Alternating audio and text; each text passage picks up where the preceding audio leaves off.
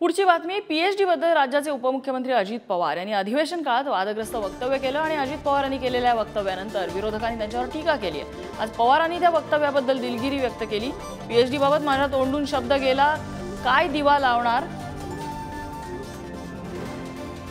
काय दिवा काय पीएचडी करून काय दिवे लावणार? अशा संदर्भातलं ते वक्तव्य होतं आणि या निवडीबाबत आता समिती नेमायला हवी असंही अजित पवार यांनी म्हणालेले आहे. आज त्यांनी याबाबत स्पष्टीकरण दिलेलं आहे.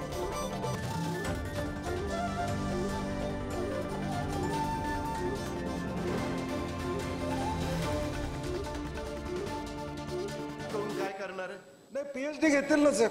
काय पीएचडी करून काय दिवा काय लावणार? असं कसं म्हणता येईल दादा? पीएचडी करून काय दिवा काय लावणार? असं- पीएचडी करून काय दिवा काय लावणार? असं मागच्या- करून काय करणार?